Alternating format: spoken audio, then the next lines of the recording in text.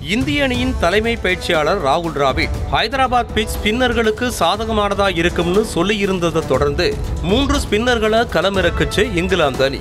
இங்கிலாந்து அணியின் முடிவு தொடர்பாக கருத்து சொல்லியிருக்காரு cricket commentator Harsha Bhogle. Pitch ஸ்பின்னர்களுக்கு சாதகமானதா இருக்கும்னு சொல்லப்பட்ட நிலையில மூன்று ஸ்பின்னர்களை இங்கிலாந்து அணி களமிறக்குனாங்க. அதுல ரெண்டு பேரு அனுபவம் இல்லாதவங்க. அவர்களுக்கு பதிலா ஆண்டர்சனை தேர்வு செஞ்சுட்டு ஜோ ரூட்டை மூன்றாவது ஸ்பின்னரா பயன்படுத்தி இருக்கலாம்னு சொல்லியிருக்காரு போக்லே. ஐசிசியின் இரண்டாயிரத்தி இருபத்தி மூன்றாம் ஆண்டுக்கான பிளேயர் ஆஃப் த இயர் விருதை பெற்றிருக்காரு கிங் விராட் கோலி. இரண்டாயிரத்து பன்னிரண்டு இரண்டாயிரத்தி பதினேழு இரண்டாயிரத்து பதினெட்டுக்கான பிளேயர் ஆஃப் த இயர் விருது விராட் கோலிக்கு வழங்கப்பட்ட நிலையில நான்காவது முறையா இப்போ பிளேயர் ஆஃப் த இயர் விருதை வாங்குறாரு விராட் கோலி. அதிக முறை பிளேயர் ஆஃப் த இயர் விருதை பெற்ற வீரராகவும் இருக்காரு விராட் கோலி. இரண்டாவது த்ரீ சிக்ஸ்டி டிகிரி வீரரான டிவிலியர்ஸும் மூணாவது இடத்துல தல தோனியும் இருக்காங்க.